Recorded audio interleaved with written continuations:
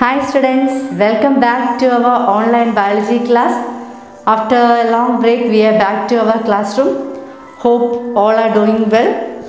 Today our topic is related to chloroplast. Before that, we can recall our portion. Last week we learned about photosynthesis. What do you mean photosynthesis? Synthesizing food with the help of the sunlight by the plants are called the photosynthesis. And also we learned the uh, structure of the leaf. The leaf contains structures such as upper epidermis, lower epidermis and in the lower epidermis we can see the stomata. In between the upper epidermis and lower epidermis we can see the chloroplast. So today our topic is based on chloroplast. The chloroplast is a cell organelle. Chloroplast is a double layered membrane which contains two layers, outer layer and inner layer. So it is called the double layered membrane. This is the outer layer, this is the inner layer filled with a fluid called stroma a membranous bones are arranged one above the another.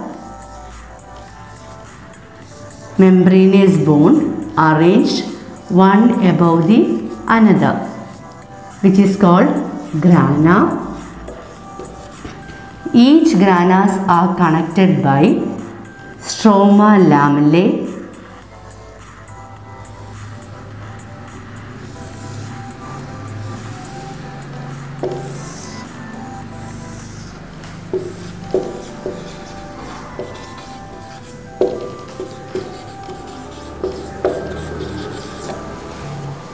Once again, the chloroplast is a cell organelle which has a double layered membrane filled with a fluid called stroma and in the stroma we can see membranous bone which are arranged one above the another.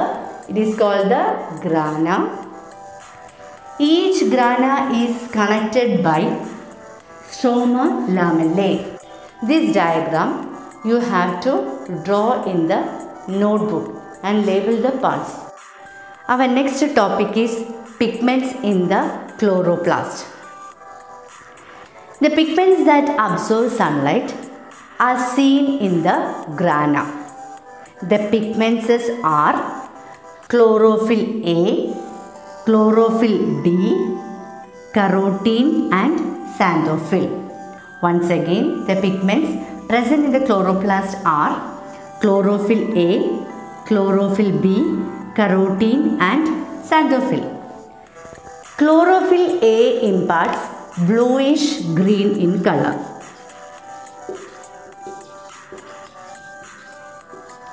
Chlorophyll B imparts yellowish green.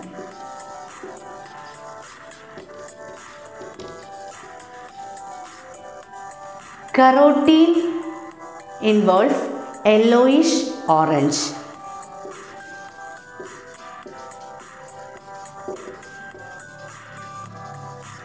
And xanthophyll imparts yellow in color. So, the pigments present in the chloroplast are chlorophyll A which shows bluish green in color, chlorophyll B yellowish green, carotene yellowish orange, xanthophyll yellow in color. This you have to write it in the notebook.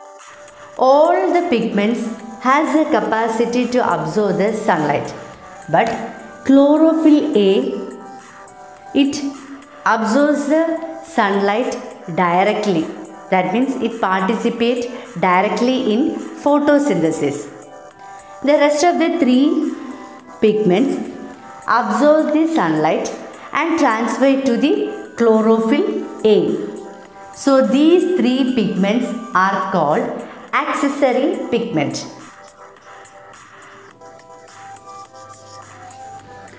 Once again, pigments are seen in the grana of the chloroplast. What do you mean by grana? It is a membrane sac which are arranged one above the another in the cytoplasm is called the grana. And uh, the pigments are chlorophyll A, chlorophyll B, carotene and xanthophyll. Chlorophyll A imparts bluish green in color, chlorophyll B imparts yellowish green in color, carotene imparts yellowish orange and xanthophyll imparts yellow in color. All these has a capacity to absorb the sunlight but what is the peculiarity of chlorophyll A? It directly participates in photosynthesis and rest of the three pigments chlorophyll B, carotene and xanthophyll it absorbs the sunlight and transfer to the chlorophyll A for photosynthesis. So these three pigments are called the accessory pigments.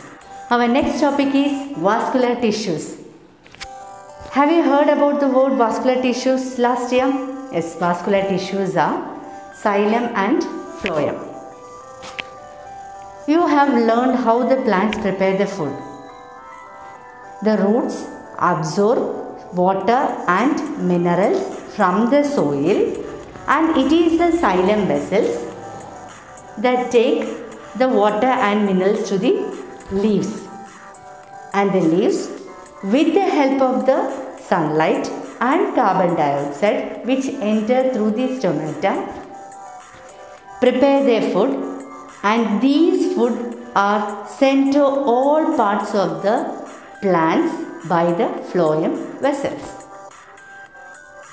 Once again, the root absorb water and minerals from the soil and it is the xylem vessels which collect water and minerals to the leaves.